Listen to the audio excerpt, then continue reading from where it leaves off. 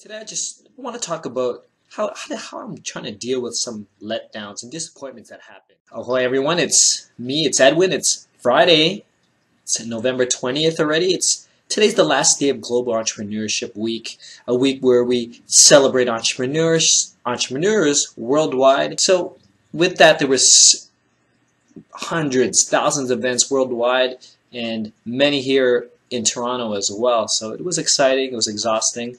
Unfortunately, this week I was excited to be part of a of an event that unfortunately had to get canceled because of the hundreds of events that were happening.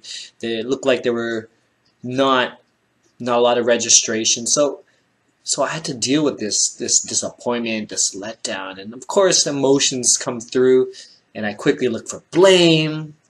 Then I wonder how could I have done better? Such such a such a roller coaster of, of emotions. But thankfully, I guess being an entrepreneur, you, you go through these roller coasters of emotions and and how to handle this. So after addressing my my initial disappointment, I let it go and look forward to the next thing, a next project. And I actually took an opportunity to do other things, other personal things that I needed to get done and that I wanted to get.